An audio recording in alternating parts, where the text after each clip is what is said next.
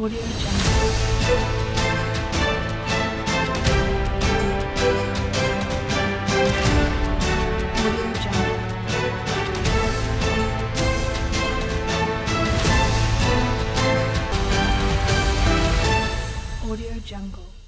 नमस्कार, आप देख रहे हैं टुडे 24 न्यूज़ और मैं हूँ आपके साथ साक्षी निर्माण रतनगढ़ में समाज सेवी संस्था दी यंग्स वेलफेयर सोसाइटी द्वारा चूरू जिला क्रिकेट संघ के तत्वाधान में सेठ सूरजबल जालान ट्रस्ट कोलकाता के सौजन्य से स्थानीय रघुनाथ विद्यालय के खेल मैदान पर आयोजित पैंतीसवा Seth Mohanlal Jalan memorial cricket trophy के दूसरे दिन मॉडर्न क्लब रतनगढ़ व रेलवे लायंस क्लब रतनगढ़ ने अपने मैच जीतकर प्रतियोगिता के मुख्य चरण में प्रवेश कर लिया है। आयोजन प्रभारी कन्हैयालाल चौमाल ने बताया कि सुबह पहला मैच मॉडर्न क्लब रतनगढ़ व यंग स्टार क्लब रतनगढ़ के मध्य खेला गया है।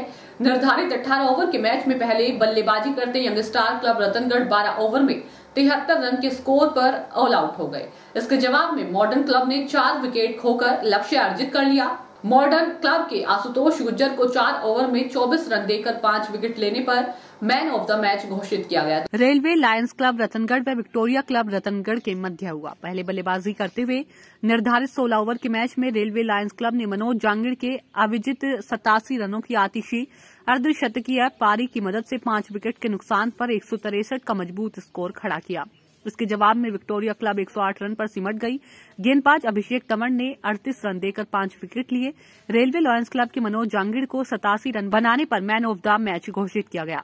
सोमवार को प्रथम चरण का पहला मैच फ्रेंड्स क्लब रतनगढ़ व डीडी के क्लब रतनगढ़ द्वारा। रतनगढ़ तथा दूसरा मैच सिटी चैम्प्स व अंजुमन क्लब रतनगढ़ के मध्य होगा।